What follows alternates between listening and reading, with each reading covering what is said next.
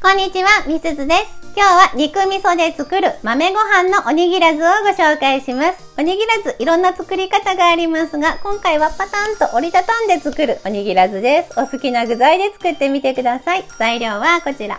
今回豆ご飯は薄い豆を使っていきます。あの、グリーンピースよりもホコホコしたちょっと甘みのあるお豆ですね。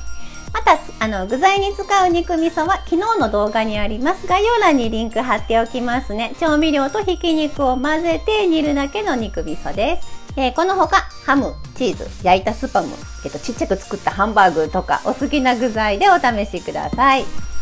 ではまず薄い豆のご飯を作っていきましょう。薄い豆は 300g、えーと2袋ぐらいですねを今回使っていきます。洗ってもらってさやから取り出していきます。こんな感じで見た目もグリーンピースそっくりです。全部剥いていってください。今回はさやつき 300g を使って、えー、お豆だけの状態で 120g ありました。しっかりと洗います。洗ったら水気を切ってお塩を振っておきましょう。小さじ1杯程度振ってよく揉んでしばらく置いてください。それから茹でていきます。たっぷりのお湯を沸かしてこちらにもお塩を加えます。先ほどの薄い豆を、えー、振ったお塩ごと加えます。中火で2分ほど茹でましょう。火を止めて茹で汁ごと冷まします。こうすることによってあのシワシワとならずにプリッと綺麗な緑色のお豆に仕上がります。こんな感じですね。冷めたら水気を切っておきましょう。ご飯を炊きます。ご飯1合、えっ、ー、と、これはかまどさん電気で炊いています。のかまどさん電気とライスポットのご飯炊き比べっていう動画が過去動画にあるので、概要欄にこれもリンク貼っておきますね。1合炊いてもらって天地返ししたらお塩と先ほどの薄い豆を混ぜます。切り混ぜて出来上がりです。豆ご飯の作り方はこのように後で加える場合とお豆とお米を初めから炊飯器に一緒に入れてもらって一緒に炊くっていう方法もあります。これだとちょっと緑色が悪くなるので私は後から混ぜる方が好きです。ではおにぎらずを作っていきましょう。海苔を半分にカットします。これは縦長でも横長でもどっちでも OK です。半分ずつ使っていきます。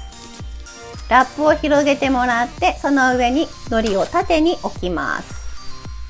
ご飯を上と下に乗せてあげてください。この時のポイントは真ん中で半分に折りたいので、その折り目の部分にご飯を乗せないことと、あと周りを少し開けるようなイメージで乗せてあげてください。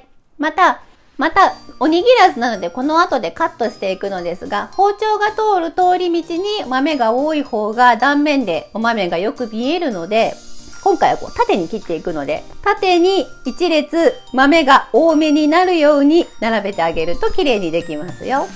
下半分に肉味噌をのせます。上半分をラップを使ってパタンと折ってあげてください。出来たてはちょっとご飯が崩れやすいので、このまましばらく寝かせます。30分ほど置いてあげると切りやすくなりますよ。ということで今回は3つ作りました。カットしていきましょう。折り目の部分から半分に切る感じになります。先ほど言ったように豆を真ん中に集めてるので、まあ、その部分を包丁が通るようなイメージで切ってあげてください。こんな感じですね。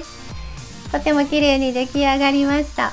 肉味噌もお豆もポロポロする食材なのでこれ見た目は綺麗ですけど若干食べ 食べにくいです。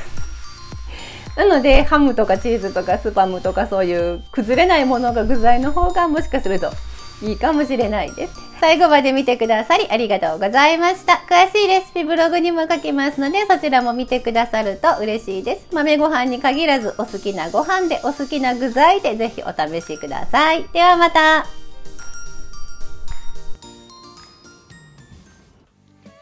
作ってみたいと思ったらぜひチャンネル登録と高評価をお願いします。